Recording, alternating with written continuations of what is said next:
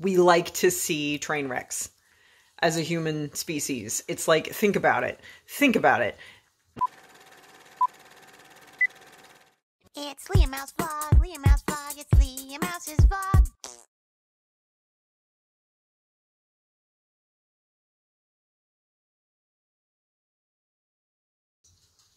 Hey y'all, it's pajama talk time again. I am in fact in my pajamas. Slytherin pajamas to be exact. They're so warm and cozy and comfortable, and it is quite chilly here. Oh my goodness. I've got my wonderful Miracle Forest new video, Autumn something or other, playing there. and I've got a woodwick candle burning. Um, I have my candle down here, Raise the Dead, which, by the way, still smells amazing after, what, a year? I've had this thing for a year and it still smells awesome. But anyway, I wanted the crackly sound. So I pulled out the uh, the ye old faithful woodwick candle. And of course I've got some boo brew to get us through. Boo brew will get us through. And yes, yes, this is also the name of one of my new Halloween candles. No, I didn't mean to do that. and no, mine doesn't smell like coffee. It is a whole different concoction of cool stuff. But anyway, uh, I'm sorry that this is on my phone. My camera is all the way two floors above me, and I did not feel like getting up and running upstairs to go get it. Plus, I'm pretty sure my battery is shot from my hair dyeing video because I forgot to charge it. yeah, my new hair, my stupid pink at the top hair. so I apologize for the poor quality and having to hand hold my phone. That irritates me, but there is literally nowhere to sit it. So uh, today's pajama talk is brought to you by the fact that I'm feeling lonely and blue. And what do I do when I feel lonely and blue? What do I do when I feel lonely and blue? I talk to you. I talk to you. yeah, seriously, I don't know. I'm just like, I don't know. I'm. I'm just having one of those nights where I'm just feeling lonely and blue, and you know, usually it makes me feel better to talk to you guys.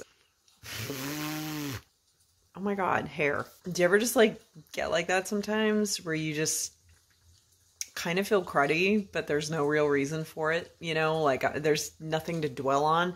You know, in my opinion, those are actually like the worst times to feel blue. You know, like because there is no reason. And well, hello, that's exactly what depression is. But I'm not depressed. This isn't a depression episode. It's just like one of my little it's just like a little slump, you know, frumpy slump thing. But that's, you know, it's annoying when there isn't anything wrong and, you know, there's nothing to dwell on. It's like there isn't anything specific that is bothering me or to make me feel blue. Like everything in my life is fine, happy even yet I feel blue for no reason. And like that's worse because if there was actually something to focus on, I could sit here and like think about it or think of ways to solve it or make it better or feel better about like, oh, I can change this and I'll feel good about it. And like this is a toxic thing that needs to go. So we're going to work on that. Like I could actually like feel like I'm making progress. But when there's absolutely nothing wrong and you feel blue for absolutely no reason, what do you do with that? like, what, what do you do, right? You, what do you do with that? I don't know. I've been trying to distract myself all night with like, um, watching uh, the various television shows or series that make me feel better. Didn't really work, lost interest pretty quickly, got distracted by playing games on my phone, which didn't help either. Uh, I've been trying to read some. I brought down some books. I am currently reading this one. It's super cute. Oh my gosh, I missed the first one, but I'm gonna have to go back and find it. Lord and Lady Bunny, almost royalty. It's it's so cute. I like it, but apparently it's a sequel, and I missed the first one, so I'm gonna have to find that one at some point. I also have my Vincent Price biography by his daughter Victoria Price. Fun fact: Vincent Price's uh, grandfather invented baking powder.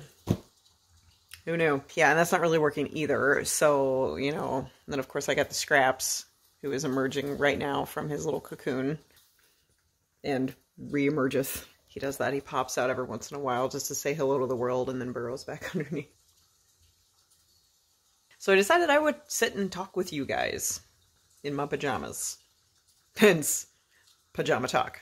Ah, I love these pajamas. They're so comfy. Comfy? They're comfy. I really like that it's getting cooler here now. Like it feels very fall like now. Like only at night though. It's still like in the 80s during the day if I'm not mistaken, but that's when I'm sleeping, so it doesn't matter. I have to turn the air conditioning on during the day and I almost have to turn the heat on at night because it goes down to like 40. It's ridiculous. But it's really nice though. It like I have the windows open and I make it just like briskly chill. I leave the windows open just long enough to like to the point where I just can't stand it anymore. And I'm like, Ooh, okay, it's getting chilly. I gotta shut the window, you know? And it feels good. It's nice. I appreciate that aspect of fall weather. So I know I mistakenly in my hair dyeing video, the last one I said, oh, like, oh, it's fall.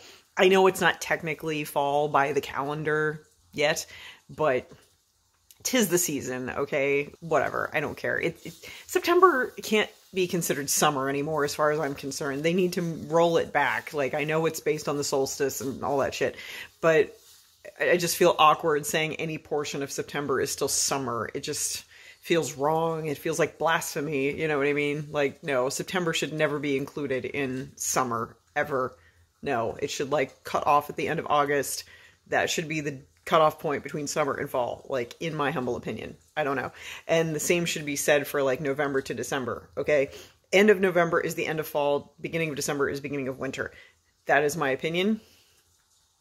But I'm not in charge of like the alignment of the planets and the moon and all that stuff. I know, I know. I'm in charge of a lot of things, but that is not one of them. so in my mind it is fall, especially since it gets this chilly at night here. It's it's quite nice. So I was watching some videos earlier um, on YouTube just to try to keep myself entertained to no avail. It was just terrible. Yeah, I have no I have no candles to make right now, which is bumming me out. Like y'all need to order some candles just to give me something to do so that I feel good about myself again. I think that might be the the reason for my slump is it's just like I feel so unproductive, you know, there's nothing to do right now. Ah, and I don't like it. So if I could make some Halloween candles, I think that would make me feel a lot better. So hmm. What was I just gonna say? Oh, I was watching some YouTube videos. I don't know if y'all have heard of Kay's Cooking. and if you haven't, my recommendation is to look up people reacting to Kay's cooking rather than just going to her channel directly. Because that's how I found her was reaction videos. I watch um, Cinnamon Toast Ken. Okay, I love Cinnamon Toast Ken. Um, Ken and Dane, like Cinnamon Toast Ken and Buff Pro, like they react to stuff, and then Ken also works with Felix PewDiePie, and they react to stuff too. But like they watch Kay's cooking videos, and they react to it, and it's so much fun. And I got to thinking, like between that and like I was uh, watching some America's Got Talent earlier, uh, the current season, which by the way, Freckled Zelda freaks me out. I don't know why. like no judgment, no judgment. But if you know who Freckled Zelda is from America's Got Talent, I don't know why, but she freaks me out. I know that's mean. I, I don't mean it to be mean. She's really talented and she's a really great performer. She's got a wonderful voice, and the way she plays the ocarina is amazing. And her costumes are just fantastic and magnificent. And she deserves all the success that she can get from this, right? but I don't know. She freaks me out. certain people just freak me out. I don't know why. And I don't mean that to be mean. I'm not like judging her or anything like that. I'm just I'm just saying for some reason she freaks me out. anyway, so I was thinking about like Kay's cooking, right? And like America's got America's Got Talent and like the old days of American Idol. From back in my day, American Idol I don't think is now what it used to be. I don't know. I haven't watched it in a while, but the way it started off it always rubbed me the wrong way because it just seemed like a show that glamorized bullying and like making fun of people who weren't awesome, you know, and the human psychology behind that really plays into what I was thinking about tonight, you know, with the whole Kay's cooking thing and stuff. Like America's Got Talent, at least when they do have an audition that isn't awesome that isn't great like they they still they say it gently you know they're just kind of like you know it wasn't right for the show or you know you could use some work or i just i didn't enjoy it or something like that. But like back in the days of american idol especially at the beginning they just really had no problem really making fun of these people. Like like laughing at their performances like outright laughing at how bad they were or how bad they found them and like just saying really insulting things and like nothing encouraging. Like you know they didn't cushion it in any way. And you know how i told like how i've talked about before especially in my last pajama talk like i value honesty i value directness but i mean there's a difference between being honest and direct and just plain mean like you know there's the polite thing that i was talking about the polite social um fake niceties thing right like i was talking about i don't I'm not an advocate for those. I'm an advocate for honesty and directness, but like there's a middle ground. Like it blurs, you know, like you can be honest and forthright, but nicely, you know, like I don't want anybody to misunderstand that I'm just going to like bluntly just say something mean or rude or whatever because it's true and that makes it okay. Like, no, that's not what I meant. Like, but I also don't want to just like politely lie either. You know, there are ways to say things that are true and negative, but in a nice way that isn't like disparaging or, you know, hurtful or mean or whatever. So, like, that's kind of where I'm coming from with this. I just was thinking about like, you know, people who aren't good at stuff. Like, Kay on her cooking channel, she's awful. She's a terrible cook. The people who make the reaction videos, right?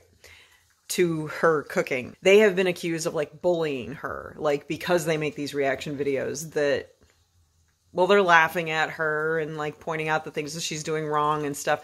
But they're not insulting her though. You know what I mean? Like they're just pointing out that she's doing it horribly wrong because she is doing it horribly wrong.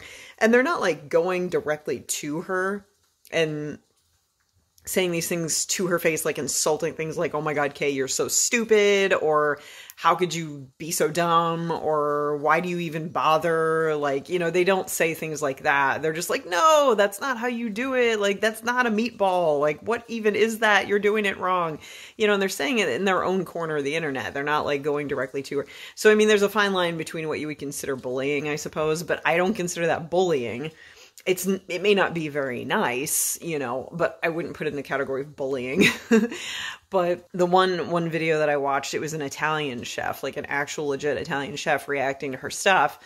And he in a couple of his videos said like why does she have so many views on her videos? Like my nana makes amazing recipes and she has like very few views and like nobody watches her videos but she makes them right and they're actually like good tips and like good recipes to follow and stuff. And then kay has like half a million views on this terrible terrible cooking video. And he was genuinely like why? Why are so many people viewing this? This doesn't make sense to me you know? And i was i got to thinking about it and it's like the american idol syndrome we like to see train wrecks as a human species. It's like, think about it. Think about it. When you watch these talent shows, these talent competitions, or any reality show, ow, my hand is starting to hurt. Excuse me, I gotta switch. You know, it's nice to see good acts that are emotional and moving and really awesome and you know you want to cheer for these people and uh, like the saxophone kid on america's got talent oh my god he's amazing. I love him. Um and nobody spoil it for me. I don't know if it's ended now from this year or whatever but like i'm still watching through the the qualifiers and stuff so don't anybody spoil anything for me. But anyway i like to see good performances as much as the next person but isn't it kind of fun when you see a really bad act and you really want the judges to say something bad Even I'm a victim of that, you know, not putting myself above everybody else here, but you know, like I am way against bullying. I'm way against negative stuff. I don't allow it in my group, on my channel, in my life, nothing. But even I, even I get some little bit of satisfaction when I see someone being bad at something and someone else calls them out on it, like the reaction videos to Kay's cooking and I don't know how that makes me feel inside. And I don't think that anybody is innocent of that. I think American Idol took it too far, though, like way too far. Like they got the nation way too invested in seeing the bad the bad singers and the judges just ripping them apart and they would end up leaving crying or angry or you know violent even and just super dramatic and stuff and I don't know why, as a human species, we thrive on drama and conflict even though we claim we don't like it, we claim to avoid it, but for some reason when it's there, it we just we we we yeah, we want that. We want to observe it. We don't want it in our lives, but we want to observe it. And we get some kind of weird satisfaction out of observing it. And I don't understand. Like tell me you have never stayed up a couple hours past your bedtime because you found a random thread on Facebook of people fighting people you didn't even know, and you read all these comments between these two people going back and forth and just yelling at each other on Facebook over nothing. Tell me you haven't done that. I've done it. and I don't know why. I don't know why we're so drawn to crap like that. It doesn't make sense to me. And it makes me feel a little bit bad about myself and us as a species. You know what I mean? Even the best people on earth which I don't know if there is the, the, best people on earth, but you know, even people who are just very pure and have the best intentions and are really positive, I doubt even they're impervious to that. Cause it's, there's something, there's something in our brains that is drawn to conflict for observation. And think about it, TV shows too, like, like scripted TV shows, not reality shows, like sitcoms and stuff. JJ and I talk about this every once in a while. Think about Frasier, okay? or House. Okay. 10 to 1, anybody watching this has seen either of those shows or both. The characters that we like, that we enjoy watching, the characters that are made up, it's scripted, you know, it's not real. The characters are so entertaining to watch because they're so conflict fueled. Like House, super annoying, super arrogant, super narcissist, narcissistic. Oh, he's just so grating. I can't even stand to watch House because, like, I get it. He's entertaining or something, and he's like the medical Sherlock Holmes. I understand Wilson Watson. I get it. But and the same goes for like Frasier. He's so uptight and dramatic and like yells a lot and everything. And it's super funny to watch. You get the audience laughing to like all of his like major dramatic freakouts, you know, and we're laughing too. But think about it if you were actually like interacting with that person you would not like it. You would not think it was funny. You know, you wouldn't enjoy it. It would be really annoying and you would just not want that person in your life. But for some reason, it's entertaining to observe. You know? Because, like, JJ and I have talked about that all the time. We're just like, oh my God, if we had to spend five seconds around somebody like Frasier or House, we would just, like, want to kill them. Like, because they're so annoying. Like, they're so annoying. But we love to watch them. It's so entertaining. Why? Why is conflict so entertaining? for us. I don't get it. Does that go back to like the gladiator days, you know, when we would like throw people into the arenas and watch them beat each other and like kill each other? Like, what is that? What is this barbaric tendency to enjoy observing conflict? Even when we're really positive, happy people. For some reason, we're still entertained by conflict. And I think that's what makes it really hard for people to stay in a positive mindset or stay good people and not participate in stuff like that because there's like a you know there's an inherent tug towards that for some reason um i don't know. I don't know what it is but that's just my thought nugget for the night i guess. But anyway kay's cooking. God this poor woman. I can't figure out if she's trolling or not. I really can't. Like i've watched several of her videos now and i can't I can't figure out how somebody could be that terrible at cooking. Especially as as frequently as she cooks, you'd think that you'd learn something along the way or figure something out or go, okay, this didn't really work last time. Let me do it this way, a different way this time, and maybe it'll work this time. Like, how could you just completely blatantly ignore all the laws of recipes and food? And how could you possibly be alive for as long as she is if she's making this actual food for this long? Like, I, I don't get it. I just feel, I don't know, but I don't know if she's of the proper mindset to like intentionally troll. You know what I mean? If you see her seen her videos, you know what I mean. She seems like a sweet old lady, and I don't feel like she would think, haha, I'm gonna troll the internet and be bad at cooking on purpose just for views. Like, I just don't think she would do that, but how could anybody be that bad at cooking? I'm sorry. I tried to show JJ one of her videos once. We made it like three minutes in, and he's like, okay, I've seen enough. Oh my God. Because he's really good cook. Oh, I'm getting a headache. This is so stupid. I can't believe my hair turned out pink on top. That's so dumb. So I hope y'all are having a good day, night, whatever. And I'm sorry for the quality of this video. Um, I know I'm in the dungeness basement with a boring background because the couch is behind me. I'm looking at the most fantastic background, but y'all can't see it. So that's what I've been looking at this whole time. Sorry. and I know it's cruddy, it's on my phone or whatever, but you know, casual hangout time. I feel like this is what it would be like if we were actually sitting next to each other and just having a chat. Having a chat. Yeah, my head is starting to hurt from sitting like this because it's messing with my spine and my neck and it's making me all croaky because I'm old and my back sucks. Thanks for hanging out with me tonight. Um, yeah, if you want to check out the new Halloween candles, go to underworldconnection.com, please, and thank you. Order something so I have something to do. well, that's all for tonight, I guess. So I will leave you with those thoughts, contemplating humanity and our draw to conflict, even if we don't want to be drawn to it. It's weird. Hmm. As always, watch out for the sheep.